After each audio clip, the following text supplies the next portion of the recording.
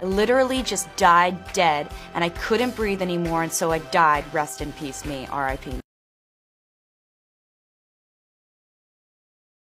The fact that Selena Gomez's documentary is not even out yet and the Academy is calling it a must see just tells me that it's already in the contenders list, both in the documentary category and Best Original Song.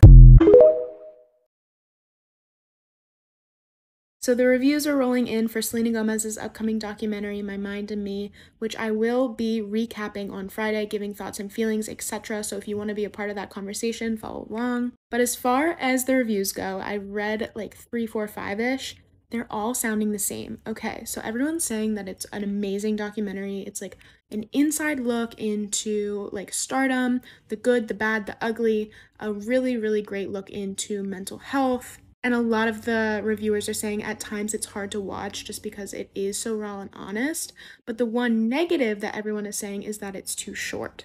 It's about an hour and a half long. At first, it was like two and a half, three hours, but then they cut it down last minute to one and a half hours, which I have my thoughts and feelings on. I just feel like it's not like a movie where you have to make people fall in love with your characters and then like wrap it up we already love Selena Gomez, so why not just give us the content? Like, I really don't understand that. But I trust Selena and I trust Alek, and I'm so, so excited to watch the doc.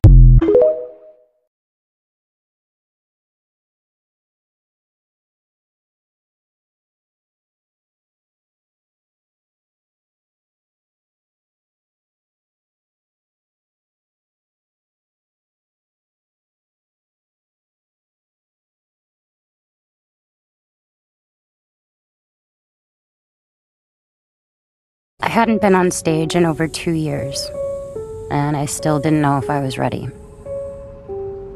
But what good is having a song if I was too scared to sing it?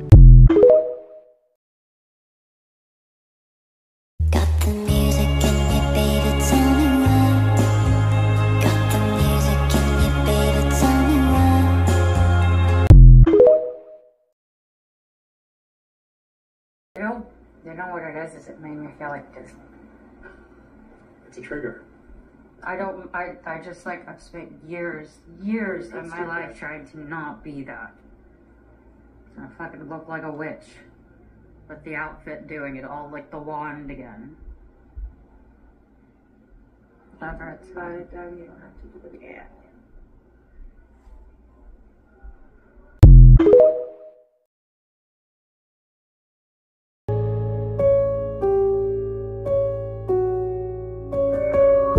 to talk and feel heard when you always feel like a burden. Don't wanna add to concern, I know they already got.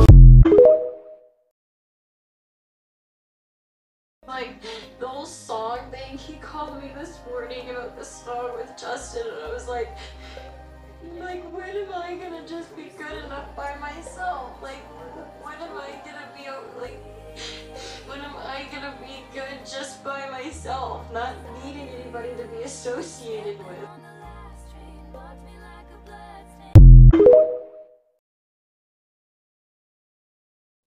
So I want to talk real quick about how Raquel totally gaslights Selena. So we're shown how many people are around Selena like every day, and it's atrocious. Like there's so many people just like waking her up, putting things in her face, telling her what to do. And it's just so much. But Raquel is the only person around her that's like mean about it.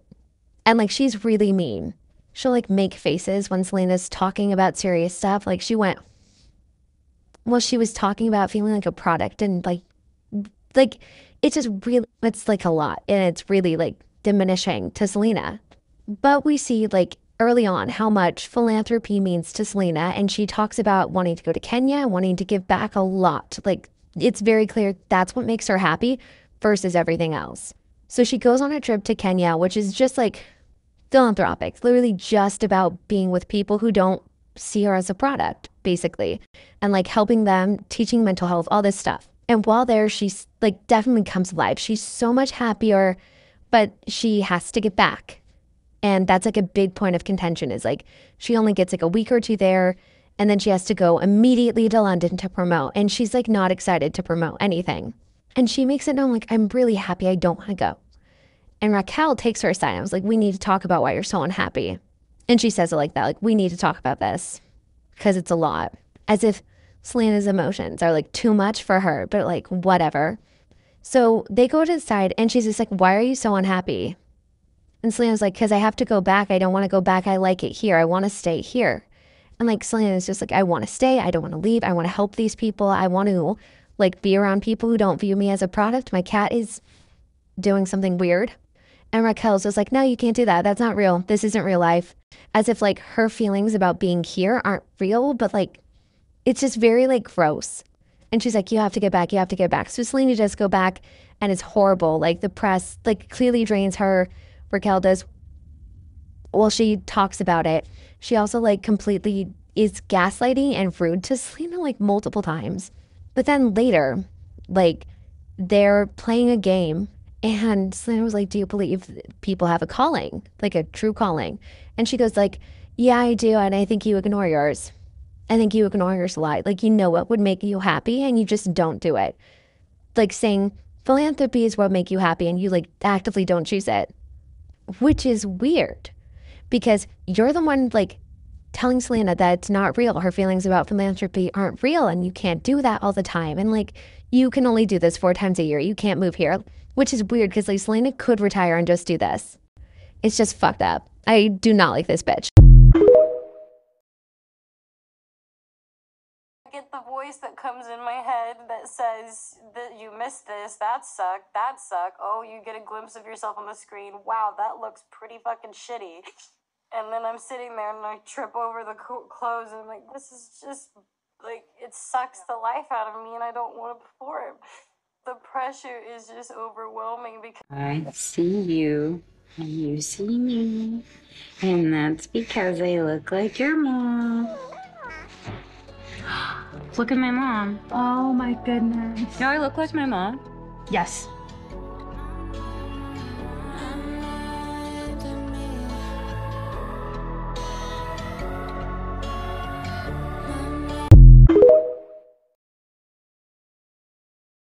Selena Gomez admits that she is scared for her fans to see her new documentary. Selena went on the Kelly Clarkson show and she admits to Kelly Clarkson that she's super nervous and scared. She talks about the truth of her bipolar disorder diagnosis and her lupus diagnosis, and she tells Kelly that the public eye has never seen her like this.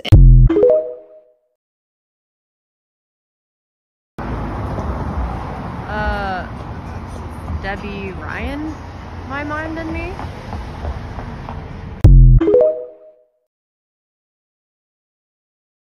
Let me make a promise. I am going to stop living like this.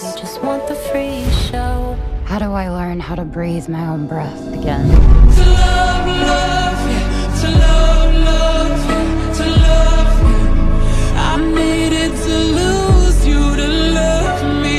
Selena Gomez is at the premiere of her own documentary, My Mind and Me, and she is looking absolutely stunning on the red carpet. I've said this for years. My favorite looks on Selena are always silks. I think she looks beautiful in silk. Here she is with her amazing director of the documentary, Alek. I'm like obsessed with the sleeve. I think it looks so good. I think it's one of my favorite looks of hers of the year. Also, I'm sure that Melissa did her makeup and she did absolutely amazing. I love the smoky eye. And just look at her. I love that she's wearing color to her premiere. And I just hope that she is feeling the love and support from us all because I know that she's nervous about the doc coming out, but we are ready. And just a reminder, her documentary comes out on November 4th on Apple TV Plus, and I will be doing a recap, giving my thoughts, feelings, etc.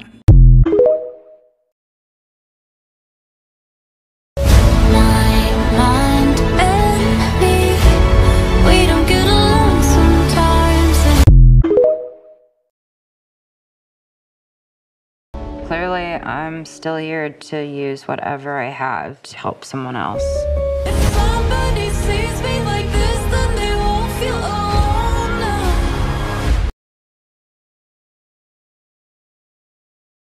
And all of the crashing and burning and breaking, I know now. If What's the most important advice that you would give to your younger sister? Oh, goodness. I think she's the one giving me advice, to be honest. She is brave, she is confident, she is strong. She doesn't let anybody tell her that she isn't good enough. And I would just say to her that you're doing the right thing and keep going.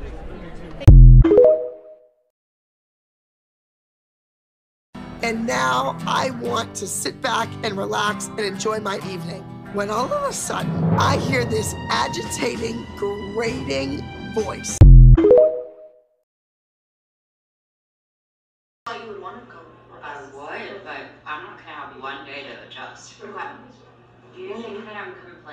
My job?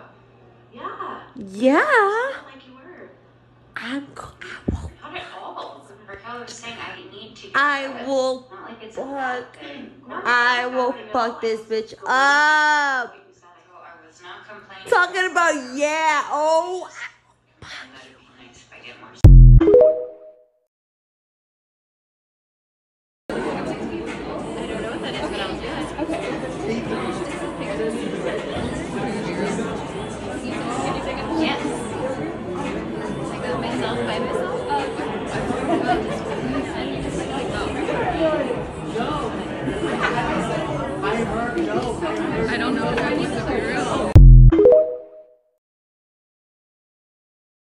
Let's talk about Cole Sprouse. Okay.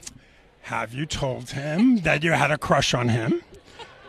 Have you called him and said, listen, this doc is coming out. There's writing on a wall that says, Cole loves Selena. Yeah, I know, and he doesn't, I'm sure. But it was, um, it was, it was honest. Honestly, I think he's adorable. But yeah, I, I don't know. I hope he doesn't think I'm a weirdo. You were a kid. You were a kid. You had a celeb crush. I know.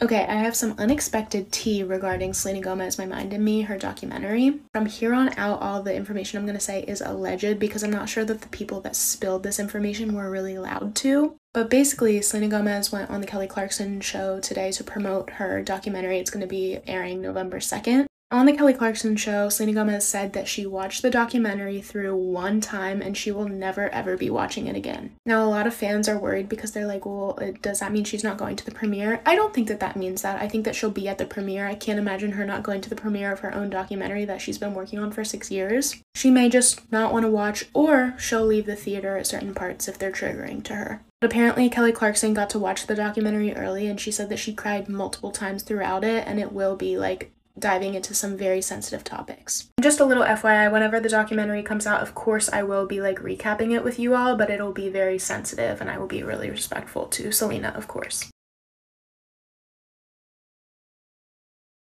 And all of the